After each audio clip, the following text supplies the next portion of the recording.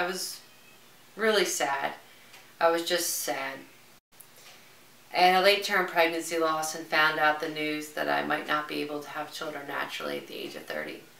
And what I have is a balanced translocation in chromosomes 2 and 11. This is the cause of a lot of miscarriages. The baby had chromosomal abnormalities. But that baby left its soul um, the night before I was planning to terminate the pregnancy. The baby died. Hare Krishna, Hare Krishna, Krishna Krishna, Hare Hare,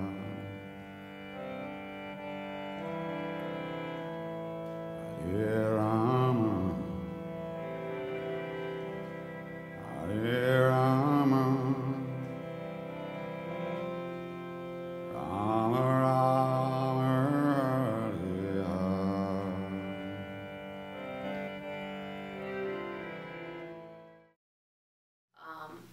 I had been so depressed that I had quit my job, so the time I wasn't working. So I was seeking for help, and um, the help that most easily was found was in the form of, you know, go see a counselor. When I went to the yoga studio to see about this counselor that also taught yoga, I found out about a Kundalini class that was offered on Sunday. I thought I would give it a try because well, the yoga studio was nearby, and the yoga teacher that I went to see, who was a counselor, suggested it.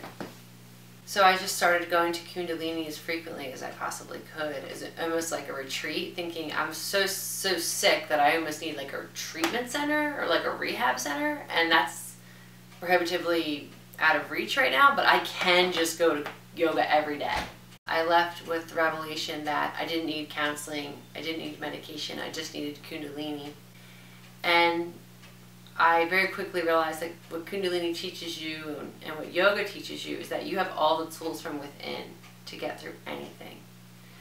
So as I stood, I was completely traumatized from my pregnancy loss. Everybody these days is just like looking for a quick fix, you know, just take a pill to solve their problem. And versus Kundalini is really just something like you're putting in work on your soul to balance yourself. It's, it's, a powerful medicine. After that first meditation class, which was very hard for me, but I, I did it, um, and I felt in this really nice feeling, calm. After class, I told her about my inability to have children. She said that meditation could manifest miracles.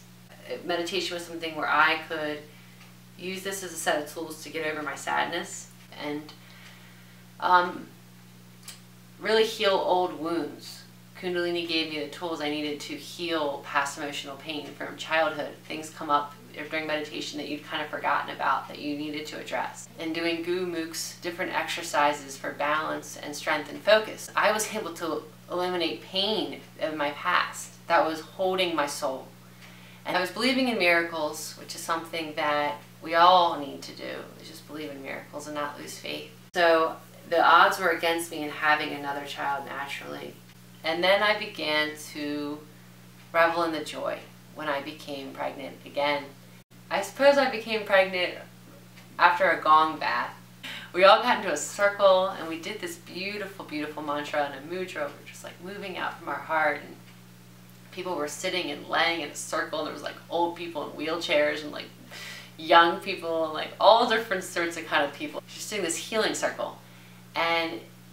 When I got up from the healing circle and the gong thing, there was a woman with there with an infant baby. And I just said, that's, that's gonna be me. That, that, I'm not sad. That's gonna be me one day. And, well, I got pregnant. I found out right away. And it was amazing. Yoga gave me the strength to carry on with the pregnancy. For the first three months, I didn't know if baby was gonna live or die.